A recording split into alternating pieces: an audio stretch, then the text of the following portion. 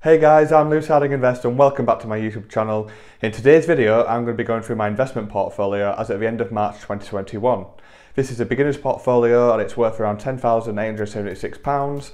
Um, if you're new around here, please subscribe to the channel and please leave a comment and a like on this video. It does, it does wonders for me and it does wonders for the YouTube algorithm, getting my video out there to more people. If you're interested in investing and want more investing content from myself, why don't you become one of my followers over on Vinny? Vinny is a platform where investors are making content online and sharing their investing ideas. Um, so yeah, head over there and subscribe to me and follow me on Vinny for exclusive content. Uh, from this week, I'm going to be posting on there more consistently, so please do check it out if you are interested in more of my content. Anyway, let's get into the video. This is not a recommendation. This video should be seen as a source of information and education only. Please seek a regulated financial advisor if you are unsure of any investment.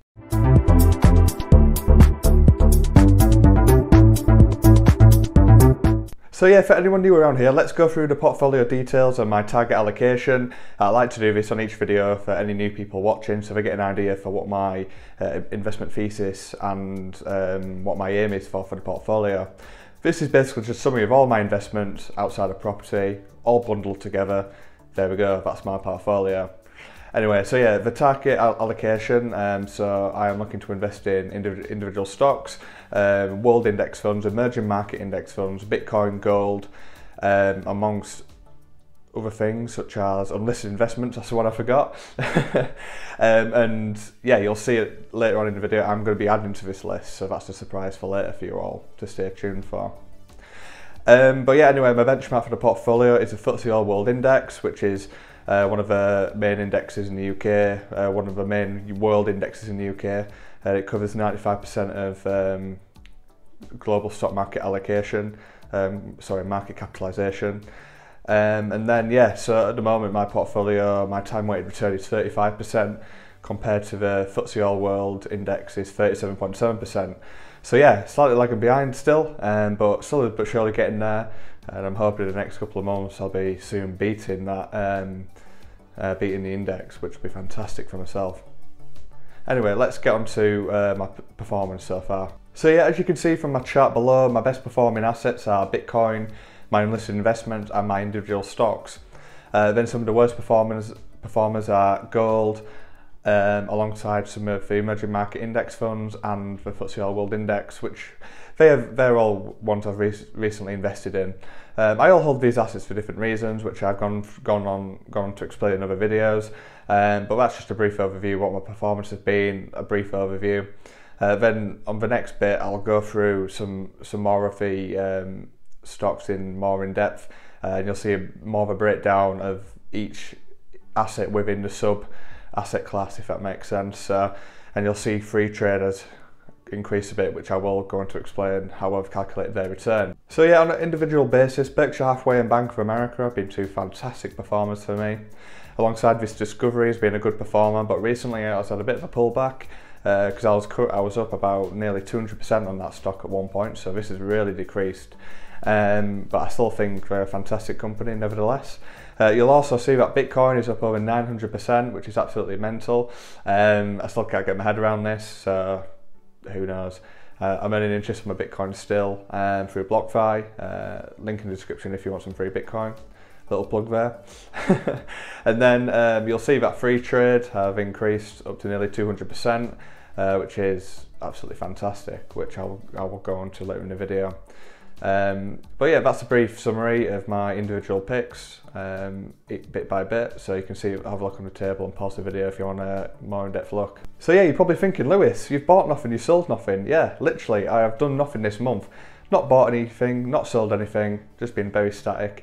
Uh, it's been quite, um, quite a nice feeling not having bought or sold anything. Um, it's just showing that you don't need to buy and sell constantly when investing. Uh, most of the time with investing, it's about being patient. 90% of investing is just sitting around doing nothing. Honestly, that's literally what it is. Um, you do your analysis, you do the work, and then you invest, and then you let compounding do its thing. Um, obviously, you do review your investments and stuff, but you don't need to be looking for the next hot stock. you do your research, you get the companies slash assets you want to invest in, and then just go for it. Uh, that's one thing I'm learning more and more. It's not actually that important researching all these different things. It's just getting getting invested, putting the putting in the work, investing, and then letting time compound, let time work in your favour and compound compounding work for you. Um, but yeah, going forward, there will be a bit more action going on. So I've got a new asset class coming in, uh, which I, I, did tease you a bit there early on in the video. I'm not going to tell you till next time. Um, I'd like to keep it a bit of a secret for now, but it is an interesting one, and I think you'll all it'll perk your ears up on onto as to why I've done this. Um, but yeah, anyway, let's get on to um, the biggest action of the month, which is Freetrade. Uh, so yeah, let's get right to it. So yeah, you may have seen my investment in Freetrade. Um, yeah, so I invested in Freetrade through Crowdcube back in 2019 and 2020. Uh, they have crowdfunded most years for the past three or four years, I believe, um, and they have grown absolutely massively since. And I, it's actually where I hold most of my investments, uh, most of my stock market investments with them. Uh, but anyway, I'm investing in Freetrade, uh, and my average share price is like £1.26. And the current rate, their current Series B raise, which was led by Left Lane Capital, L Catterton, and Draper Esprit, um, the current share price is £3.77. So for me, um, this is absolutely fantastic, of course. Uh, it, basically, my investment is up nearly 200%, uh, which is absolutely fantastic, and I'm expecting this to continually rise for the next couple of years. So I'm a very happy user and investor. Uh, but now this is just showing that crowdfunding investments can work in the right, um, in the right, what's the word? In the right circumstance, crowdfunding investments can work. So we're seeing with Revolut and Monzo, Nutmeg, um, quite a few other companies that if you can successfully analyze and work out if this business is going to work well, you can get the returns. Um, so I, and I invested late. I invested in round five of Freetrade. So there's people who, who invested in round one and round two. I think round one, the, the shares were 7p. So you're talking about astronomical return, life-changing money returns, and I think Freetrade will go public in the next three years. But I'm expecting my return to be absolutely mental. So yeah, who knows what their return is going to be. But yeah, like I said, I think it's important to have a look at different um, asset classes, especially during this low interest rate environment where investing in the stock market isn't necessarily going to produce you great returns. Um, like if you invest in the indexes right now, you're probably expecting a 4% return, which, let's be totally honest, isn't going to uh, be satisfactory for some people. It isn't for myself. Uh, this is why I'm looking at different asset classes and looking if I can use them to give me returns. And then overall, my portfolio will do better than the world stock market. That's kind of my idea and thinking. Anyway, that was a bit of a tangent, but yeah, anyway, so that's basically the in the know of my uh, Freetrade investment. Um, if you'd like to know more about Freetrade, uh, myself and Shane Trainer, the Investor, have just done an interview with Sam Polan, who is the Associate Director of Marketing over at Freetrade.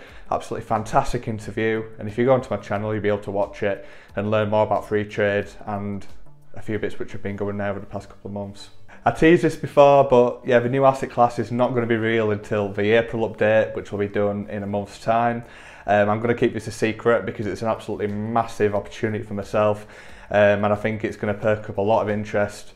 So you will have to stay tuned and wait till next month to find out.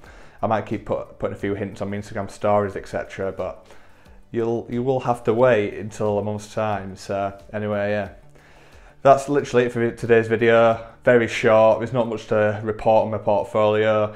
Um, if you'd like to see more on the portfolio itself, go to lewishardinginvest.com and you can have a look at my investment portfolio online and you can have a look at my returns, etc. and a few comments basically this video in Word format.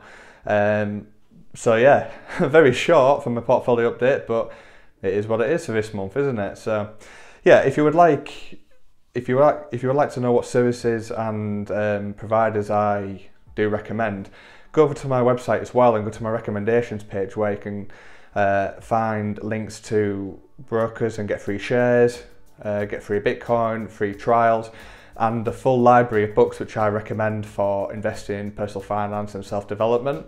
Uh, so yeah, please go over there and take a look. Um, I'm sure it'll add some value to you all. And as I said before, head over to Vinny if you would like more investing content. Anyway, thank you very much for watching today's video. I will see you next time.